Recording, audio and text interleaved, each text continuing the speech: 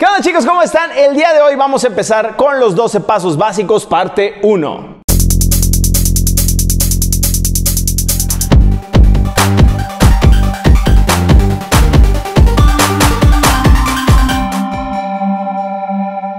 Si has seguido este canal desde hace un tiempo o si te acabas de suscribir y te pusiste a ver los videos que había yo subido, que yo, he subido, como que no se me entendió ni papa, que yo había subido ya desde hace un par de años, te habrás dado cuenta que subí una serie de pasos básicos genéricos. Y los llamo genéricos porque no necesariamente son pasos de hip hop, son pasos que tú puedes utilizar para lo que sea, que para la clase de zumba, que tú para tus, tus chambes, para tu fiesta de 15 años, que para lo que absolutamente se te ocurra. Pero que cuando nosotros tomamos esos pasos básicos y les ponemos el groove de manera implícita, se empiezan a ver completamente diferentes y podrían pasar por hip hop dance. Ahora bien, ¿por qué utilizo yo estos pasos genéricos? Porque son herramientas esenciales que yo utilizo para enseñarle a mis alumnos a coordinar y a unir los movimientos mecánico y orgánico sin necesidad de irnos a algo más complejo como lo que es los movimientos de party dance. Así que en esta segunda etapa de este canal me voy a ir un poquito más rápido, nada más voy a retomar lo que ya les había yo enseñado y a complementar con algunos pasos que me faltaron para que a partir de aquí nos vayamos mucho más rápido y podamos entrar a los pasos de party dance. Ok, así que pues sin más que decirte al respecto, vamos a ver los cuatro pasos de hoy. Muy bien, los pasos que te voy a enseñar hoy están súper sencillos y sus nombres son descriptivos, entonces como tal.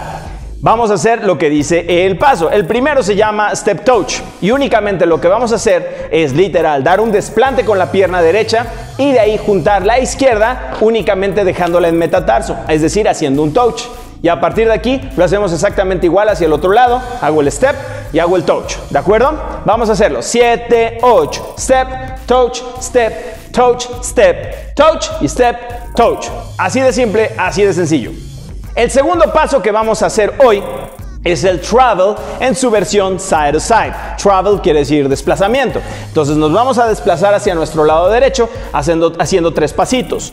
Step, cross, step y junto. Step, cross, step y junto.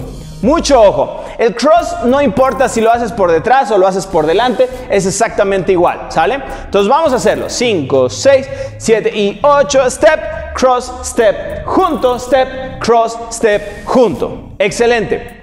El tercer paso que vamos a hacer hoy lo llamo igual travel, pero en este caso va a ser back and forth. Es decir, vamos a movernos primero hacia atrás, 1, 2, 3 y 4 y de ahí regreso hacia el frente. 1, 2, 3 y 4. ¿Estamos de acuerdo? Vamos a ejecutarlo. 7, 8. 1, 2, 3 y 4, 5, 6, 7 y 8. Perfecto. Y el último paso del día de hoy es el slide que básicamente lo único que vamos a hacer es hacer un desplante, un paso un poquito más largo y la pierna que queda atrás la vamos a deslizar tratando de mantener bien pegada toda nuestra planta sobre el suelo.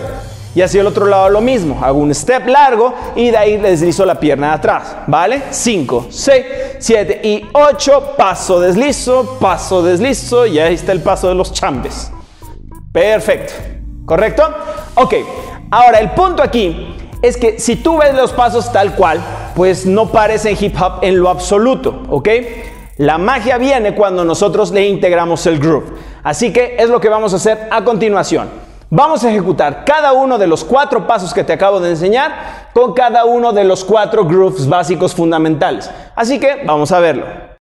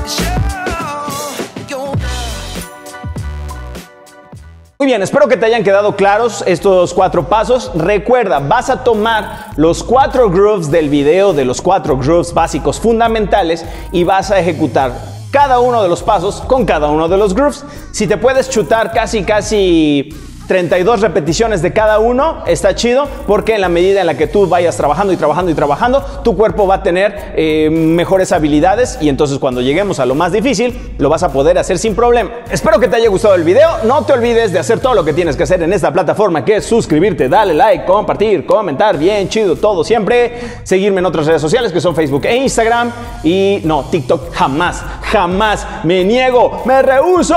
No. Adiós. Bueno, las voy a enseñar a los tetots.